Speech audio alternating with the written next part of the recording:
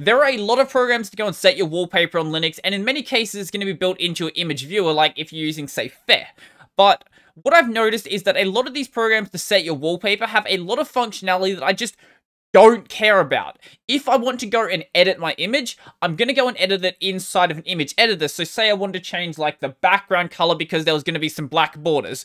I'm going to go and do that in an image editor where I'm going to have much more control and be able to do exactly what I want to do. I don't need that in my wallpaper setter. So in my case, I'm just using X wallpaper and that's what we're going to be talking about today. So I'm going to be doing everything in this floating window here just because it's going to make it a bit easier to see any of the changes I actually make. So unlike a lot of wallpaper settings, you can't go and just run X wallpaper and then pass in an image. So say, for example, my wall.png file, this won't actually work. You actually need to specify what you want to do to the image. So even though, say, like feh, you can actually go and set a wallpaper like that, it is still doing some sort of processing, whether it's doing centering or stretching or tiling, it's doing something to it. So in X wallpaper's case, you always have to be explicit about what you want to do to the image.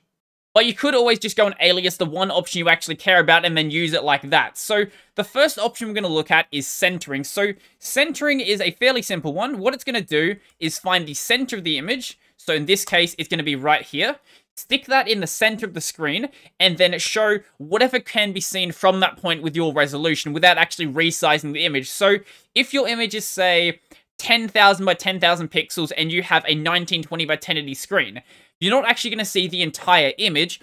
You're just going to see a 1920 by 1080 box cut out from the center.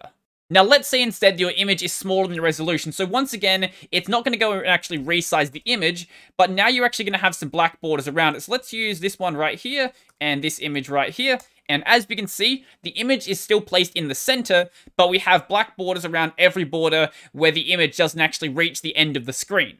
Now we have two options which when you read the description they sound very similar and if the image actually takes up the entire screen anyway do actually act in a very similar way and those are zoom and maximize. So the main difference between zoom and maximize is whether they crop. So if we run x wallpaper dash dash maximize maximize on this image that we were just using it on so pictures stallman dash l dot jpeg as we're going to see it actually resizes the image this time, but it doesn't resize the image so much that it gets rid of all of the black borders, so it hasn't actually cropped the image. I know it does look like some of the image is cut off, but my monitor does go above my status bar here, so this is actually the edge of the image, and there is literally no cropping happening whatsoever. So the difference between this and Zoom is that Zoom actually will crop stuff, so I prefer to use Zoom most of the time because I don't like having black borders on my images. So if we just go and resize it with this one, as we can see, now we have no black borders and it is cropping the image. Now, really, the only bit of image editing this comes with is trimming, which lets you select a quadrant of the image and then set that as the wallpaper. Now, personally, I wouldn't really want to do this in a command line application like this. I'd much rather do it in something like GIMP, but it is here if you want to do it. So the way we do this is dash dash trim, and you've probably seen this syntax before, so it goes width, let's say 200 by the height, 300 plus the x, or we can do minus, but we're going to do plus in this case. So plus, let's say 50, and then let's say plus 40 for the y. So it's going to start at the coordinate 50 by 40, and it's going to be an image that's 200 by 300 pixels. And you also have to go and set how you want to actually scale the image. So in this case, we're going to do zoom, but I'll show you what it looks like with the other ones we've seen before. So if we do zoom, it looks something like this. I didn't actually select these numbers beforehand. I'm seeing this for the first time now. And if we do maximize, it's going to look a little bit like this right here. Now, you probably notice a bit of an issue here. So, yes, it is actually trimming the image, but it's also doing something else as well. It's using the offset we set in here to actually go and move the image, but it's not moving it by 50 and 40. What it's doing is moving the image and then actually changing the scale, which is also changing the scale of how much has actually been moved. So if we go and do center instead, what that's going to do is actually put the image in the center of the screen, use the offset we set, but not actually mess around with the scale of anything. So this actually is offset by 50 and 40. So I don't exactly know why it messes with the offset like that. It does make it a bit more confusing to actually use. Once again, this is why I would recommend just going and editing the image and then setting it with something like, say, maximize or zoom and having it be exactly how it's supposed to look. Now, there are other ways to scale an image, but the reason why I didn't mention them until now is because I would never actually consider using them. So, the first one we have is stretch. So stretch is not actually going to maintain the aspect ratio. So when you do zoom, it will crop the image, but it won't actually change how the image actually looks. In the case of stretch, though, in the case of stretch, though, we get this right here.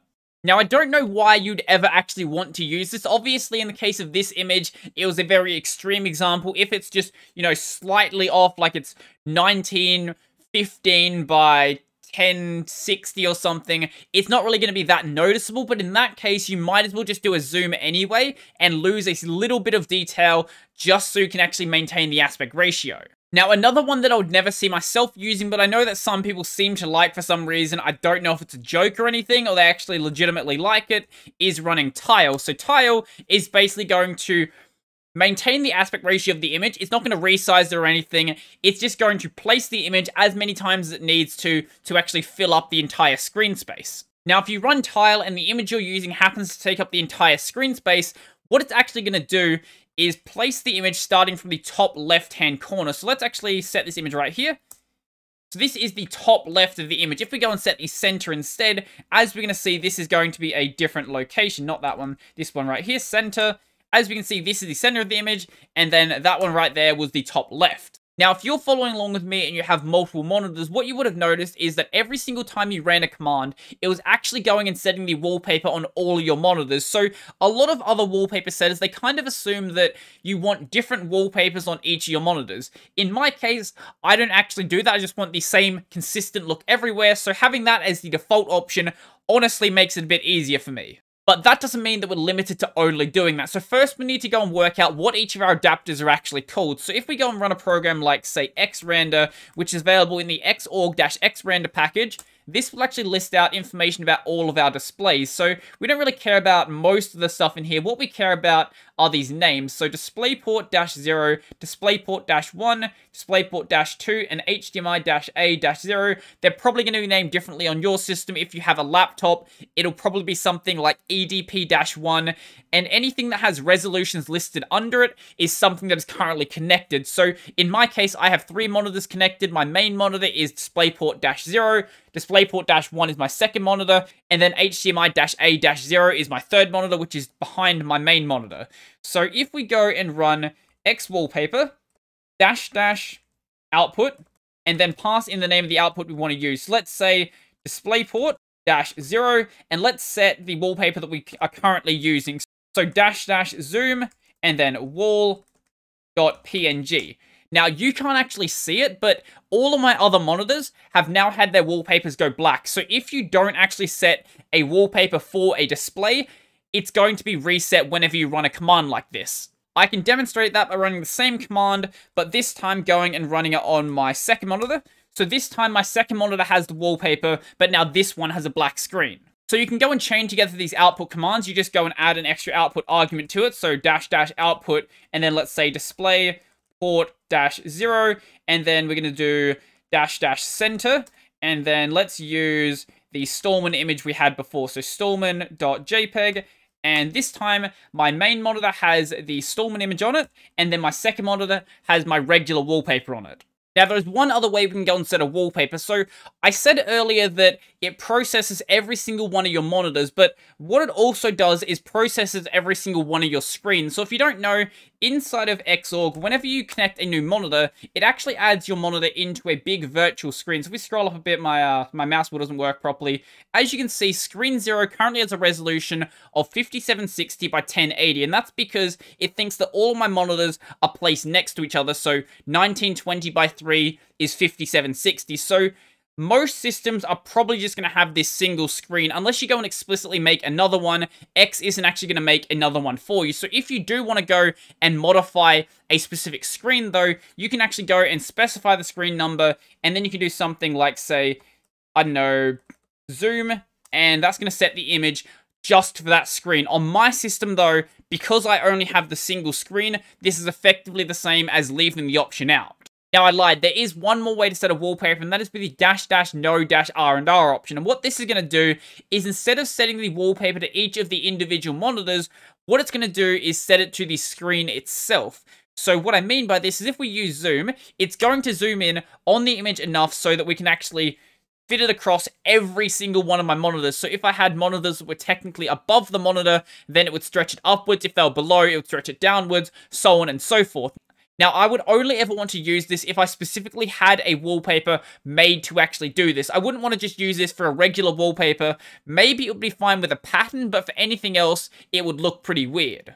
Now, there is one more interesting command to mention, that is the dash dash daemon options. What this is going to do is keep X wallpaper actually running in the background, and then every time you disconnect and reconnect a monitor, it will actually rerun the command to make sure your wallpapers actually get set properly. But I don't really see much of a point in actually running this all the time because what you can do is every time that you run something like Xrandr, then you can actually just rerun X wallpaper and not really have to worry about wasting resources on running the daemon mode. So I think that's pretty much everything I wanted to say about this. Now, I may do a video on another application called HSetRoot because people keep telling me about this. They say it's even more minimal than X Wallpaper. And in the case of a wallpaper setter, I want it to be as minimal as possible. If I want to do any editing, I'll just do it myself. I don't need a program like this to actually do it for me. So I think that's pretty much everything for me. But before I go, I would like to thank my supporters, so a special thank you to Chris, Joachim, Donald Corbinian, Andre, Nathan, Monster, Will,